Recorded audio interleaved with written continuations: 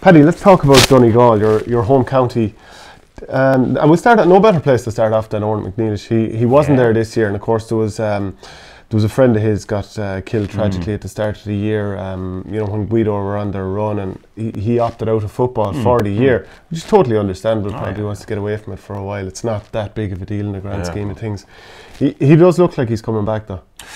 Well, uh, it's still 50 50. Uh, there was a couple of days ago, the various media platforms in Donegal said, you know, coming out that it'll be 10 days before he makes his decision, which still is only three or four days away. Now he's playing a little bit of soccer. It's very much 50 50 at the moment. Look, it's huge and it's on everybody's lips. Now, Declan Bonner has announced a couple of young, exciting players coming in to the squad again. But to be honest with you, and they're all really talented guys. But Donegal need Odhrán MacNiallais. Um, I mean, He's you know, a I- playmaker, isn't he? he's a phenomenal footballer. You know, obviously Michael Murphy's God and Donegal, okay. And we won't get into eruction now, but that Well, no, no you know, nobody like he play, he's a ten out of ten in every single game, and no one can say otherwise. That seems to be the case. no, on a total censorship on every Donegal player. Look, Odhrán MacNiallais, there was kind of a narrative going around. Sometimes he blows hot and cold, but I Mm. can tell you, you want Odhrán MacNiallais on the pitch. Uh, Neve Connell done well against him, but on the second day he was sublime. He's an awesome player. He leaps like final, yeah. a salmon in the air. And I think the big thing is when Donegal were missing Paddy Brearty a couple of years ago and he had that bad injury, and a lot was left to Jamie Brennan, okay? And suppose the, uh, the opposing teams could man mark Jamie Brennan. But then Paddy McBrearty comes back last year, and then you find we've a young guy coming on, Oisín Gallen, who's a very good player. The opposition teams then have to worry about two or three players. But if you get in Odhrán MacNiallais, that's another one. He can play midfield, he can play half forward, you could throw him inside if things aren't working. He's definitely in the top five. You know, you have Michael Murphy, Ryan McHugh, Paddy McBrearty, Eoghan Bán Gallagher, Odhrán MacNiallais. He's, he's a beautiful, beautiful footballer. I remember meeting the joint Mayo managers a couple of years ago and they said he was one of the main guys we, we, we, we were going out to look after, you know, because he's so, so talented. Because when he does blow hot, he's he's unplayable. Hmm. And he's so he's a beautiful player to watch. Beautiful, beautiful footballer. He's 27 now. He has taken a year out previously, hasn't he? A few years ago. Yeah, a couple of years ago, and Is it that football he can, to some degree, he obviously loves it, but to some degree he can take or leave it?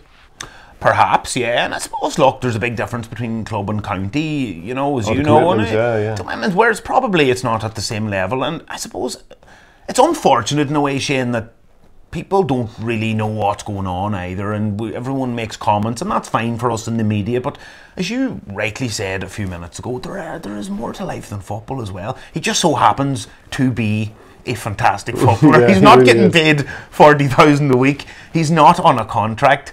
There are bigger things out there, you know. And listen, we just hope that he comes back, um, and hope that he's in a good place to come back, and that he's back enjoying his football because as I said, when he's on form, he's 10 out of 10. And I think, apart from Dublin, who can maybe miss two or three key players, I think Donegal, Kerry, Mayo, Tyrone, I think to go on to the next hmm. level, I think they need all their aces on the pitch because even last year, who are the one team that could probably afford three or four serious injuries and still go on and win the All Ireland? Dublin, who didn't get three or four serious injuries?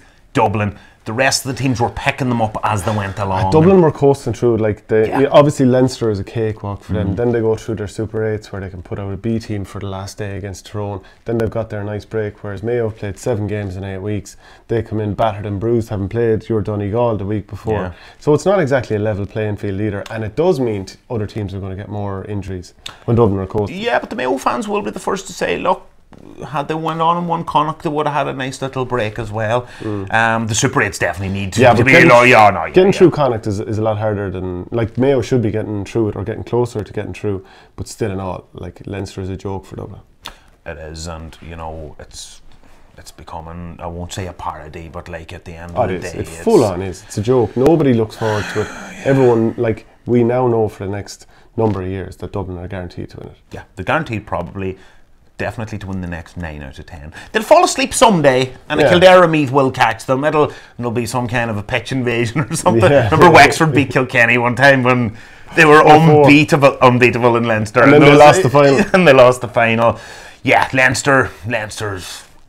It's, it's, it's turning into a joke, really. You know, and There's a there's a player you mentioned there earlier, and I was thinking of the Super Eights, and I'm pretty sure it was against uh, Kerry. He came on and scored those points. Oisín Gallen, a player being targeted by AFL clubs. Like he, he isn't really someone you'd want to lose, is he? Yeah, no, absolutely, and fabulous club player as well, and very, very talented, very elusive. Kind of came on the scene nationally for Donegal when he came on in the league final against mm-hmm. Meath. And kicked four or five sublime points from play. And the great thing about him is he's a young lad, 18, 19. He misses one chain, what does he do? Has a pop again. He's fearless. He's very, very talented. And yeah, he had, he went, it's called a combine. So you go for two weeks to Australia, kind of like trials, but I'm led to believe there were a lot of players over there. And it probably doesn't make the headlines all the time. A lot of guys go over for this and a lot come back as mm-hmm. well. But he done an interview a couple of months ago when he came back and he said he's fully concentrating now on Donegal. And I think that's the thing about Donegal. For years, you know, Donegal always produce one or two very good forwards and sublime forwards. At the moment, it's definitely their forte. Like if Paddy McBrearty, Oisín Gallen, the aforementioned Orman if he does play, Jamie Brennan was unmarkable in Ulster last year, and obviously Michael Murphy can come in and out. So it's a, g- that area of the field is less problematic, can we say? Why, so you mentioned Jamie Brennan there, and he was sublime in, in Ulster, really brilliant. Probably came off the rails from a small bit as the Super 8s went on. Didn't seem to, and now maybe you disagree, but I felt that his form wasn't quite at that same level because I was excited to see him play in Croke Park. I thought, I really do think he is the real deal and continue to think he's the real deal. But maybe that's just a symptom of, in general, Donegal sort of ground, ground to a halt as the season got to the very end. It was um, it was a strange one for a lot of players. You know, Jamie just he was so closely watching the Super 8s, and it's funny. He got a little bit of criticism after the Kerry game, the drawn game, and said he didn't show up. He still won one or two vital frees at the end, you know, and he was still there. Um, he's a confidence player, like probably 98% of players. And look, his form was ridiculous in Ulster. I mean, he, he really, really was. He was a guaranteed All Star at that stage. He was a guaranteed All Star, and as you mentioned, the season unraveling, and nobody likes to make excuses, and Declan Bonner won't make any. None of those guys will. But the injury toll Shane was becoming farcical at the end. I mean, take take the Kerry game for example, and That we, was- we, we spoke that day. Neil Yeah. McGee, your full back, Paddy McGrath was out. Then Eoghan Bán Gallagher, you know, had that very serious injury. Paddy McGrath, uh, my own club man, The Animal is that his 30, nickname? 30, 30, 31. Like, like Paddy McGrath was having the best year of his life. Like, obviously, he was brilliant in 2012, but he was in the form of his life. Eoghan Bán Gallagher, I mean, what a class, class footballer. I felt personally robbed of an All Star of the previous year. You know, again, he's up, down, he's up, down. Such a bad injury. Neil McGee actually had a good club championship this year, and he was missing as well. You're missing three first choice mm. defenders. Where are Kerry strongest? Up front. So, and then we had, of course, Hugh McFadden and Jason McGee went off that day. The two midfielders with injuries. Then came the Mayo game, and you know, there's a lot of talk. Donegal were brilliant last year, and people say, "Oh, they bought it was a bottle job in the Super Eights again." They went to Mayo. Mayo were getting ridiculed by their own supporters. It was monsoon season that day in Castlebar. Donegal had six or seven first team players out with injuries, away from home, with that partisan supporter. You know Mayo better than anybody. And it was just, I firmly believe it was just a bad day at the office. I, I really, really do. I think it was a combination of those things. Soft penalty for Michael Murphy. Not at all. Will you go away? Shane, you need to stop listening to Joe Brolly and these guys. It was a hundred never listened percent to a a thing he penalty. I, I don't know how that. He pulled him down. That was a penalty. The problem is it's not given in every game, but it was a penalty. It's not soccer. We need to introduce you to Michael Murphy, Shane. You know, you need to I get Michael Murphy on here. Okay, I, I did a piece of him before. No, I think he's a great fella, but actually, he's after turning 30 now. Do you think he's as effective now as he was in previous years? I honestly believe, and I'm not just saying this, I think last year, and this is going to sound ridiculous, uh, I don't know how many people in Donegal would agree with me. I think 2019 was as good as he's ever been in the green and Yeah. gold jersey. He's How just much he he- changed over the years, by the way, in terms of like even how he's used by the manager? Yeah, look, he, I suppose in the early years, he, they could play him inside. Um, Donegal had a very strong midfield that time. Jim McGuinness moved him in and out. If you go back to 2012, uh, 14 particularly the. Cork game, yeah, you could move him inside more. You could bring him out more because you had a guy called Neil Gallagher there in the middle, Rory Kavanagh. Neil Gallagher, his own club man, you know, it was like synchronized swimming with those two guys. Neil picks it up at club and county and launches it, launches it in. His work rate is his work rate's actually it's it's ridiculous. Um, I just as a as someone with no skin in the game, when I see him standing on his own 45 protecting, I just think this is the last place I would. Or sorry, if I'm the opposition, I'm delighted to see him there. And I've asked club lads about that, and they are too. But at the same time, and you know, there's a lot more intuitive people out there in me than Gaelic games. And I've often asked people, why don't you leave him inside? And they'll say, well, look, there'll be three, four bodies around him, and it's just a waste of time. Because you know what his problem is? His problem is he's an unbelievable midfielder as well. Hmm. That is actually, he's, he's. He's awesome around that area. He like he's sublime, he takes so many players out of the game. With the game. attacking mark now, you're thinking mm, maybe get him back inside again. I think we're going to get him for another 15 years, hopefully. I think we're going to see a 45 year old Michael Murphy. I, a lot of people are giving out about the attacking mark. I love it because he moved inside last year against Meath and it was just catch, catch, Well, catch. this is the thing, like because uh, if he wins that the attacking mark and therefore he can stand up and take free, sure, like he could be getting all sorts of scores in a game. yeah, absolutely. It's going to be a sad day in Donegal when Michael Murphy ever retires. He, but you know, it's not only that, and I know people are obviously at that level, they love football, but Michael Murphy is actually obsessed with football. I think he's going to be like a Jimmy Barry Murphy type in Cork, where he's going to be involved and heavily immersed in Donegal GAA forever. I can see him, you know, he's with LYIT coaching. They love him. Um, they won a trophy last year. I can just see him when he finishes, maybe going with the underage and into the seniors. I can just see him being involved forever. He's he is really an ambassador up there. He's he's just he's loved, and you know, I know this is away from football and. Look, a lot of the top hurlers and footballers do it, but he's just so good with kids as well, and he, he's just a, he's a great fella, and he's so unassuming as well. He's actually very good at analysis. Um, I remember yeah. being up with Eir Sport doing, um, I think it was a double header in the Donegal Championship at the end of 2017. And during the game, like I had the headset on, and I was just listening to him do co-commentary and analyse it, and I was just like, yeah, I'm understanding this game more as he's talking, as it's going on live. So Yeah. I have a feeling we'll see Look, there. when Jim McGuinness came in in 2011, he put Michael Murphy captain straight away. And that time, you know, you had guys like Kevin Cassidy there, and you know, you had other big, big leaders who were around a long, long time. And he puts in a young cub essentially, and Michael Murphy, you know, and eh, incredible. Like for such for such a young fella, apparently his voice in the dressing room is sublime. Like I think Chris McNulty wrote a couple of months ago, and when this article came out, he said. Michael Murphy would slit someone's throat to get a ball. That he's he's he's, he's you know he's, he's nuts about football, but he's so important to Donegal. He's so important in everything Donegal does. So you you were probably a young lad in '92 when um, Donegal won that first All Ireland, were you? Six, nearly seven, yeah, nearly Yeah. seven. Um, You're a few years younger than me, so only yeah, I know it's the beard. I need to shave the beard. People are putting a few extra years on me. I'm sure that's kind of like rose tinted glasses or whatever. But like, can you remember that and con- compared and contrasted with 2012? Yeah, I remember Martin McHugh said tw- 1992 was for the older generation in Donegal. 2012 was for the younger generation in Donegal. Donegal didn't win their first Ulster Championship Shane until 1972. Yeah, Like 1972, you know, uh, subsequently won nine. It's ten in total. That's ridiculous. Like they had five Ulster titles when Jim McGuinness came in.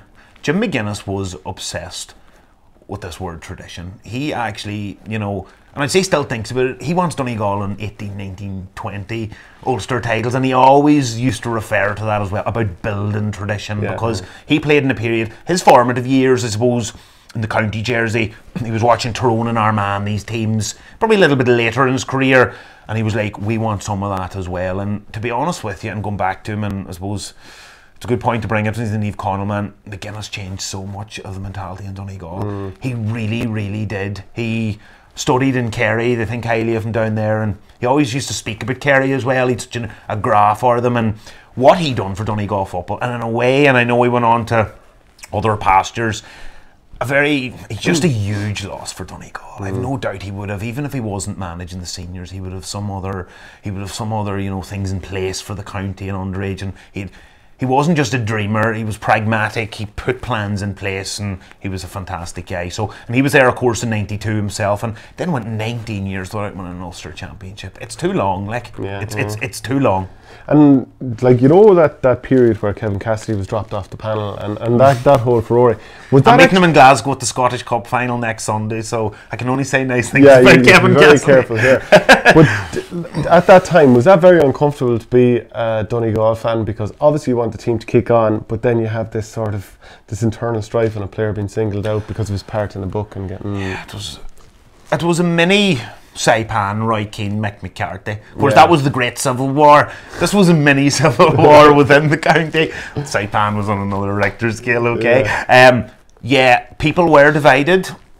Probably more went towards Jim because Donegal went on and won the All Ireland in mm. 2012, and very unfortunate, very unfortunate for Gweedore because you had Neil McGee, Eamon McGee, and you had Kevin Cassidy, guys who had travelled from Magheragallon, which is in Gweedore, to county training, you know, soldiering through the bad days and Do you know Eamon and uh, Kevin Cassidy did a piece together in uh, was it the Star or was it actually a paper in Donegal? I can't remember which, but they did a piece together looking back on it. It's kind of interesting that it took so many years and it's they still hadn't fully kind of uh, talked through it. be fragile. Like, because Yeah. Gweedore, you know, they call themselves the home of football in Donegal as well, and they are. I mean, they, they have the most championships, so and it's a it's a huge GAA area, and like you mentioned, Eamon McGee and Kevin Cassidy, they're huge characters. People wondered why they got so much attention last year when Gweedore won Ulster. These videos. Because they do it in every town and village in Ireland, but it's because of the characters you're talking about. And I would imagine, yeah, it was, it was, it would have been very difficult. I think Kevin's over it. Um, he says he's over it. I personally think, you know, it's a hard one to know. It was just uh, Jim McGuinness went on and won in All Ireland um, by draconian measures, no doubt. But his modus operandi was to get Donegal over the line. And look, I think he did want. Ke- I, I genuinely believe if. I, I say looking back, Jim does feel bad on Kevin Cassidy over that, you know. And would you think you'd get over it? No. I don't think deep, so. deep, deep down. I know he done a thing with Newstalk and he said he was over it and that, but I would say deep down he's still probably a little bit hurt about it. Well, he's, he's his own character. I'm just, if you're saying me specifically, no, I don't think I'd ever get over that. But be that as it may, um, I actually mentioned Kevin Cassidy. I go back to that game in 2011, the quarter final against Kildare at Croke Park. I was at that game. Something that really struck me, you know, the last minute winner from Kevin Cassidy, beautiful left footed shot in extra time. The thing that stood out to me that day was actually how partisan the Donegal journalists were in the press box. I'd never seen I'd never seen journalists going so insane celebrating. Were you were you part of that crew? No, I wasn't. I was a spectator that day. Think about the Oh, Donegal journalists and media. There's about 500 of us. It's a very competitive market up there. It's a big county of north, south, east, west, and that. But yeah, everybody was behind them. Um, everybody was behind them. And I think, you know, when uh, journalists in Donegal don't have a problem, you know, slating the county team when they need to be, but they would be behind them as well. I think they appreciate that it's an amateur game. I remember Jim Carney in Galway said to me that years ago, he said, I done my first ever commentary for Galway Bay FM, and he said to me, you need to be careful too, you know, this is an amateur organisation. These guys are not on big money. So, yes, you can go to town on them. Yes, you can give out about them. But even with you, you don't absolutely ridicule somebody. You analyse it summarize it, whatever you need to do. But we need to always take a step back, and these lads are not on big, big money. And I think, I think, I think the Donegal media appreciate that. You know, They all would have started out as fans anyway. You grow up playing the game. That's that's why you got interested in it in the first place. we're all fans of typewriters, aren't we? That's that's it. But uh, we're looking at in 2020, Donegal are on the cusp, if they can win this Ulster title, of a first ever Ulster three in a row. And like you said, 10 titles ever. Um, Michael Murphy has lifted half of them as captain. Yeah. But a three in a row would be huge. In Three that will be huge, and Donegal won Ulster in 11, 2012, and we're raging hot favourites against Mm. Malachy O'Rourke's Monaghan in 2013. Monaghan were 4 to 1 that day. And just everybody was a hot day in Clones, like it always is in 13-7 Clones. 13 7. Good memory. Well done. Well, no, I'm just looking at that. Oh, I didn't know that. I didn't know what you were looking at there. No, um, and that was, but Monaghan completely deserved that. They were much the mm. better team from start to finish. So that would be now the next step. And I think there's a feeling, you know, Donegal, Donegal two do- tough groups in the last two years with the mm. Super Eights, and people feel they deserved more from coming out of Ulster. But I think the best route is still winning the province, and you have that couple of week gap because you mentioned Mayo already. You know that struggle of playing seven games in eight Yeah, yeah. weeks or something like that, and there is a feeling. Look, we'd be spoofing if we were saying any otherwise. The winners of Donegal and Tyrone will be hot, hot favourites for Ulster. And I think that is the route to go down. I think the next step is getting out of the Super 8s group. Um, it has to be. That has to be. And I, if this Dublin, if this Dublin phenomenon thing ever does come down and there's a vacuum, it's who can actually step up to the next level. Like, do you see Dublin beaten next year? No. Do you, do you think Donegal could be next in line?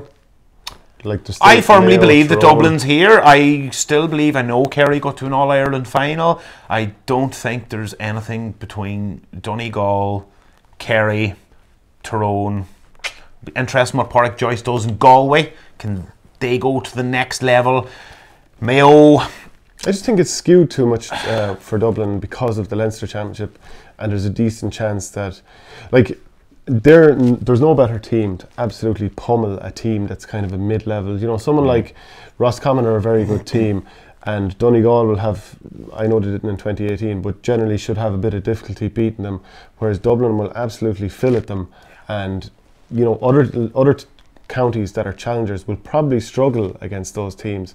Um, and Dublin are just going to come through fresher, and I think just because of their quality, everything combined, I think it's very hard to actually stop them. And if you keep Kieran, which has happened, Ciarán Kilkenny scoreless, Mannion scoreless, Costa scoreless, Dean Rock will chip in with 1 5, 1 Con. 6. And I would imagine you've so many fires to put out, but Kerry could have beat them this year. Mm. They could have beat But them. they only could have beaten them because they went down to 14 men. They were really gasping for air up until the red card. I t- and I think the second the second game showed what the first one would have been without the red card. Yeah, and I think another elephant in the room is let's say Dublin, right, win six or win seven either. They may go away for a year or two. We could be looking at them coming back winning. Like, it may not be as big a deal if even if they are beaten. Could they come back and win another four out of six again? Probably. Could do. That's when it's going to become stale. That's when it's going to become stale. But what can we do? And Donegal next team in though if they do. I'm hoping so. Look, as I go back to the Drew Kerry Kerry. game, Yeah, Drew Kerry. 120 each. Kerry, Kerry are missing players as well. To be fair, um, you know David David Moore didn't play that day. Crowley Yeah. was obviously out for the year, so they had their injuries as well. Um, but Drew with Kerry in a pulsating game. You enjoyed that one yourself? I did, You? That was probably game of the summer. Yeah, I absolutely love I'm that. very biased, am I? You certainly are. Thanks very much, Paddy. Thanks, Shane. Good man.